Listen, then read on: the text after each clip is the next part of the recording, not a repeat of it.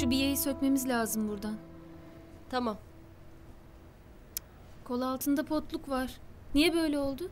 Dikiş toplamış. Onu da düzeltelim hemen. Provayı hazır hale getirelim. Çıkarayım mı?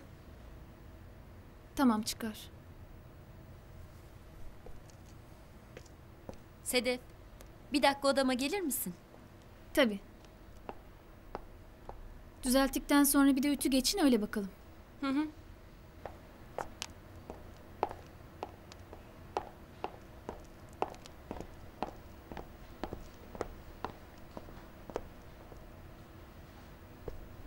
Otur.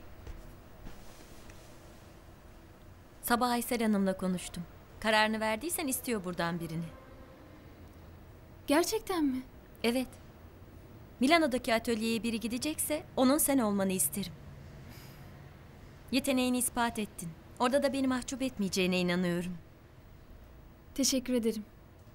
Bunun senin için nasıl bir fırsat olduğunu söylememe gerek yok herhalde. Evet tabii. Ben değerlendir diyorum. Ama karar senin. Tamam. İsteksiz gibi görüyorum seni.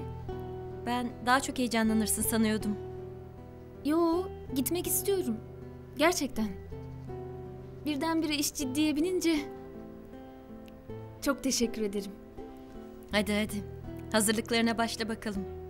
Hayırlı uğurlu olsun. Güveninizi boşa çıkarmayacağım. Bundan eminim. Ben Aysel Hanım'ı arayıp senin için bir davet mektubu göndermesini isteyeceğim. Bize de lazım olur. Çok teşekkür ederim.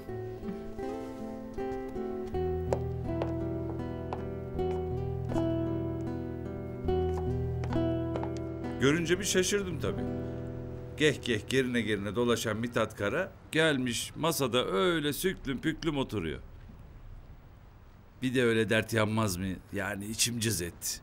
Aman dertleşecek adam mı bulamamış o da? Karısı görecek yine başımıza ekşiyecek. Canım ben mi gel otur dedim. Adam kendi ayağıyla gelmiş oturmuş. Aman ne bileyim ben.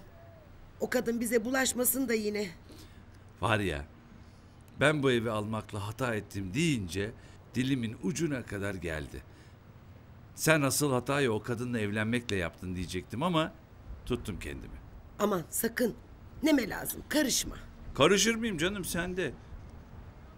Ama adamın yavaş yavaş sıtkı sıyrılmaya başlıyor belli. Yoksa gelir de böyle konuşur mu hiç bana? Aklı başına gelmiş ki kalkıp cenazeye de geldi. Bakma ya. iyi adam o. Talihi kötü.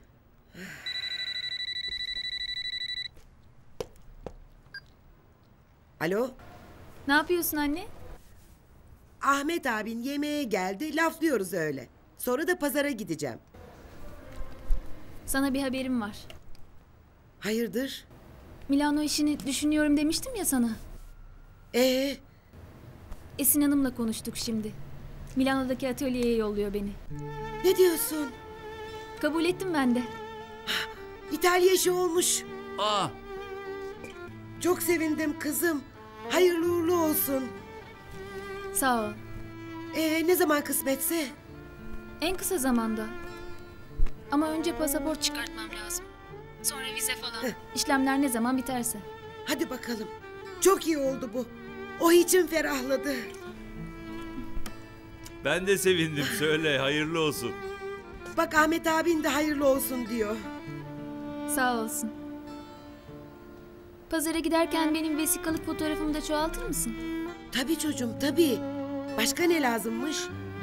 Bilmiyorum. Şimdi internetten bakıp öğreneceğim. Sedef, kızım. Gerçekten çok mutlu oldum. Allah tamamını erdirsin yavrum. Sağ ol anneciğim. Hadi görüşürüz. Görüşürüz. Hadi hayırlı uğurlu olsun. Ay. Oh Gözümüz aydın. çok şükür. Senin adına çok sevindim. Ben de. Hayırlı olsun. Teşekkür ederim. Şevket ne diyecek bu işe? Ona söyleyeceksin değil mi? Tabii canım. O da memnun olur herhalde.